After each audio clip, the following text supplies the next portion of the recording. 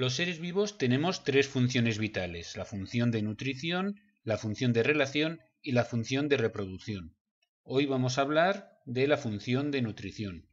Los seres humanos, como organismos heterótrofos que somos, debemos tomar los elementos y compuestos necesarios para el desarrollo y mantenimiento de nuestro cuerpo, además de obtener energía necesaria para realizar nuestras funciones vitales. Es decir, necesitamos alimentos para conseguir materia orgánica que necesita nuestro cuerpo y también para conseguir la energía que me ayude a realizar las funciones vitales, desde que mi corazón pueda latir hasta que yo pueda desplazarme o pensar o hacer cualquier cosa. Todos nosotros, los seres humanos, igual que el resto de los seres vivos, necesitamos un aporte externo de materia y energía. Pero comer también es un placer para los sentidos. Es un acto social importante y marca señas interesantes de la identidad.